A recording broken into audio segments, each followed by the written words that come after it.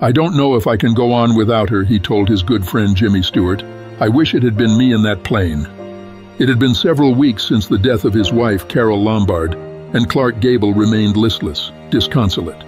It's like a light has gone out in Clark, Stewart confided to concerned friends. I'm worried about him.